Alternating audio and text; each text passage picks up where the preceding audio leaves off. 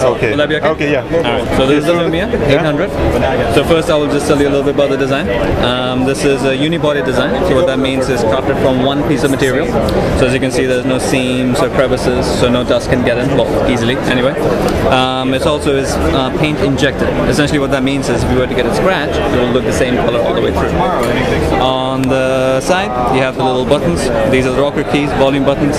There's a standby button on the side, side on, side off, and my favorite camera button.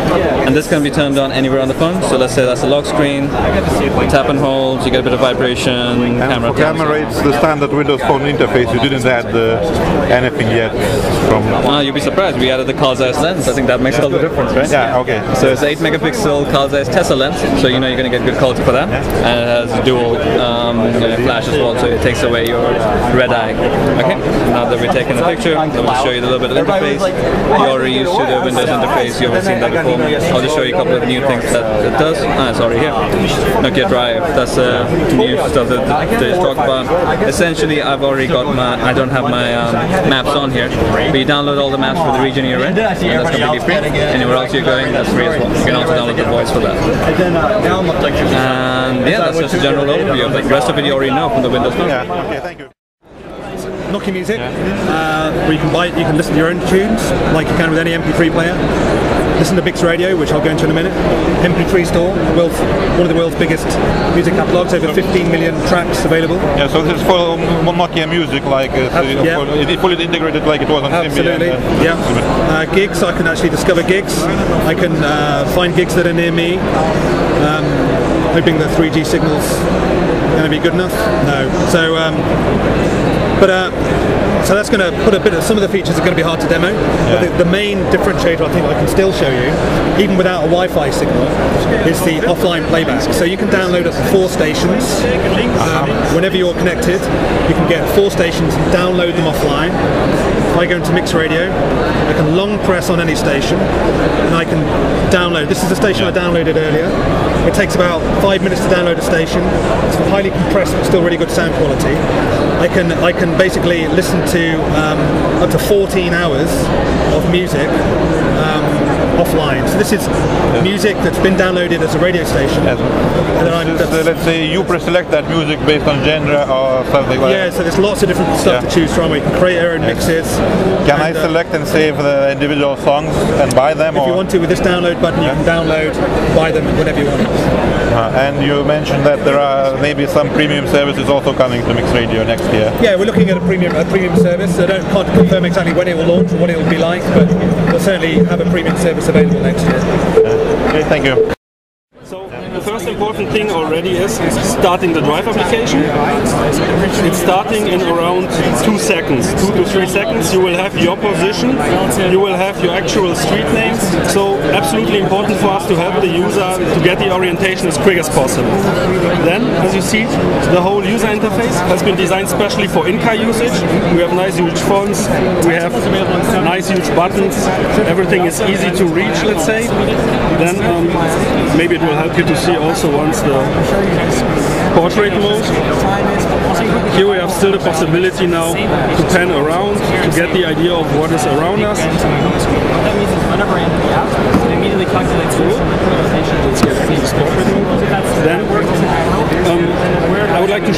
Absolutely straightforward this application is. Standard use case we have we search for a destination.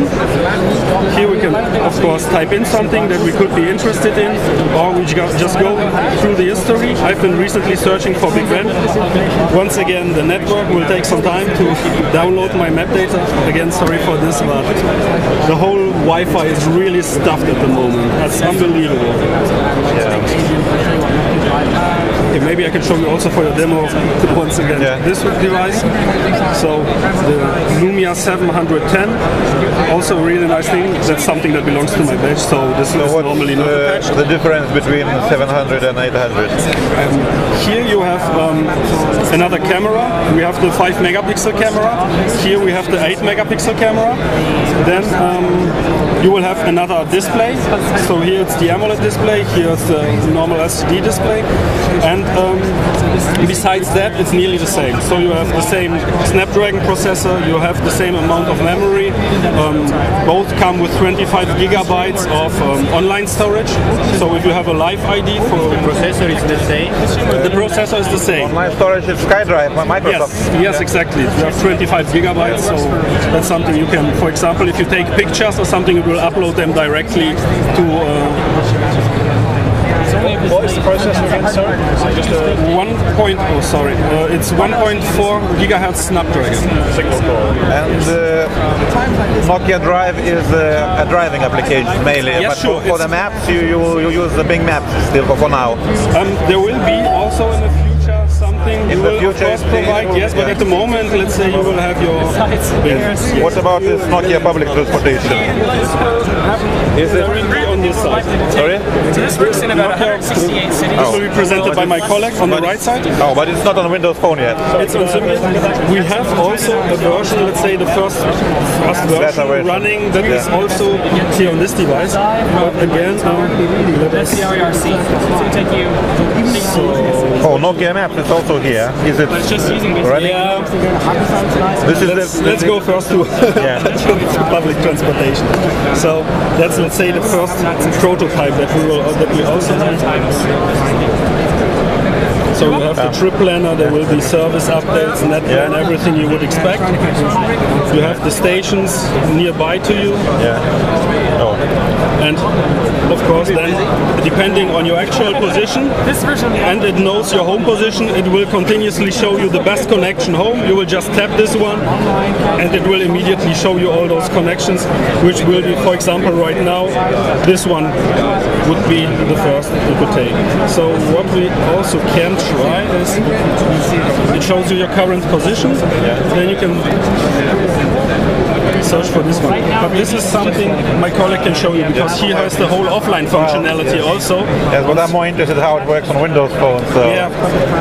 it, it will come. I know it will come later probably. In Windows Yes, Phone, it but will. It will. It will definitely. Yes. Could you try launching Nokia Maps on, on this one? Because I really don't like Bing Maps on Windows. Yeah, next I'm going to change at some point to get to central, which is the back. So I can see it on the map, which is great. So I can even see it. Once again, yeah, sorry Uh, for this, no, but the connection, it yeah. just doesn't Okay. make sense to do it. Yeah, so okay. let's let's jump to this. Drive. And Oh yeah. I have to find a solution for this problem, but it seems that somehow everyone is now using this, and it should not happen. and it's now the maps are already loaded onto the device, so it's now connecting to the, The- network yes, for what? exactly. The maps are available, but the search request that we have now, this is going to the server, Yeah. and we will hopefully then get the search result list. So this still happens directly on the server. Uh-huh. But this is just a real small package. It's Okay, really, it's yeah, really small package. So it's not an amount of money, let's say, you will pay for this. But you do have plans for all fully offline. Yes, sure, sure. Yeah, In the future, we will provide the full offline functionality. So turning off your whole data connection, and you will still be able to navigate. And pedestrian navigation application is also coming. This is pedestrian yeah, also in the future. Okay. Um, sorry for this, but I have to find another solution in a few minutes.